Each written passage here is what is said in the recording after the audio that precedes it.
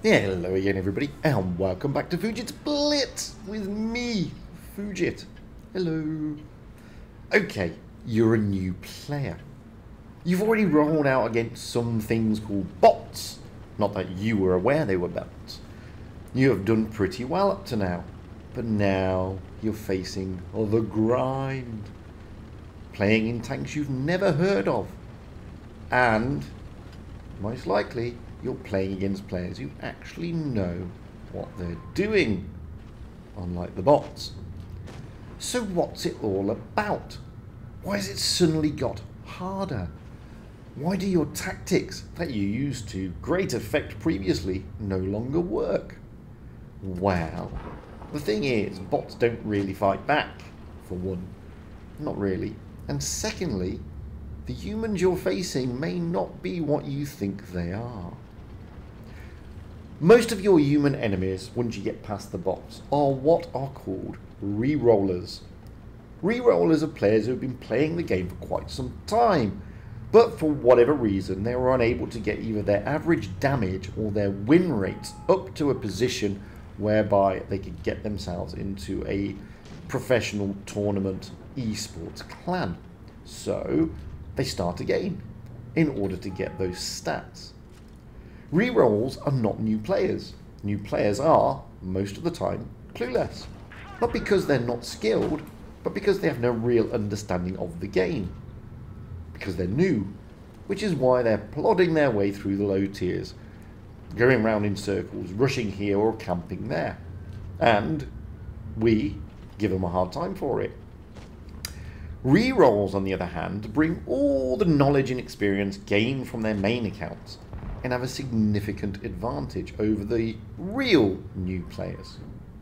That's not to say that being a reroll is a bad thing. I mean, how people choose to play the game is totally up to them. But new players do need some assistance in order to get the most from this game. Problem with new players is when they're facing totally inept bots, they will really pick up some bad habits thing is, they'll also pick up bad habits from watching some of the bigger YouTubers, oddly enough. Because generally speaking, you're watching very experienced players rolling out in tanks they've been playing for ages on maps that they know like the back of their hand. And doing things that new players just aren't ready for just yet. That's not to say you can't pick up any hints or tips from YouTube videos, because you can. But before you decide to grab that shiny new premium tank or rush into that top tier with its big guns, try to learn some of the very basics first. Now look, it doesn't matter if you play the game for fun or if you're serious. The basics are literally that, the basics. Even those who play the game for fun don't like to lose game after game. I mean, where's the fun in that? So, those who don't take this game seriously still possibly like to improve, or at the very least, win. With that in mind, I want to look at a replay of me rolling out in a totally stock low tier tank, the M8A1, an American tier 4 TD. Now, the first thing you need to know is don't rush. Take your time. I know it's like a broken record. Don't YOLO. Don't rush be patient. There's seven minutes. Use those seven minutes, blah, blah, blah. But seriously, that is vitally important. Don't rush. Secondly, take time to aim your shots. Guys, in the low tiers when you're learning, it's not about doing those snapshots. It's not about, you know, getting those insta kills. You're not playing those type of tanks. You're playing tanks that, you know, generally dish out mediocre damage against tanks that generally have mediocre armor. So take your time. You've got time to do this. You've got time for that reticle to come down. Know your maps. Knowing the maps is vital because it tells you where you can take your tank, what you can do with the tank, etc., etc. More importantly, it's great to know the maps, but also know that mini map. That little thing in the bottom left-hand corner get used to looking that, at that regularly. Don't dismiss it because dismissing it is going to land you in a world of pain.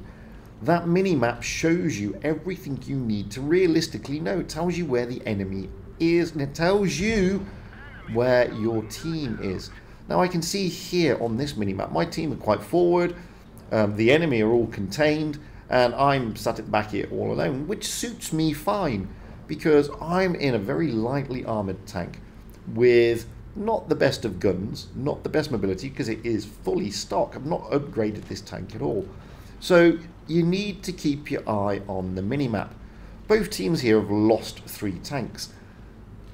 Be mindful of what your tank can do. Back out of danger. Don't sit in the open shooting tanks because it's not going to help your cause. It really isn't. Don't move until you've reloaded because, again, you're going to get smacked. It's as simple as that. And once you've fired, get back into cover. Don't be a hero because there's no reason to be a hero. Take your time. That is the main thing. Don't rush. Know the maps. Look at the minimap. And above all, have fun. Because even when the team around you is collapsing, it doesn't really matter. You may lose, because you're going to lose some games. You focus on having fun. And I can see no fun in, in, in, in losing every single game. I do see lots of fun in smacking the bejesus out of an enemy tank. Puts a smile on my face and makes me giggle after all. So, for those newer players out there, resist that temptation to do what you've been doing against the bots. Resist that temptation to throw caution to the wind and just YOLO hard and fast into the middle of a melee. You're going to die, you're not going to have fun, and you're going to lose credits and everything else. Chill, take your time, and trust me, over time you will enjoy the game. Anyway, I've been Fugit. Just a quick message to all the new players out there. I hope it was good. I hope it was interesting and I hope you learned something. Until the next time, guys, stay safe out there. Remember, it's just a game. So, have fun and happy tanking because that's what it's all about having fun, being happy.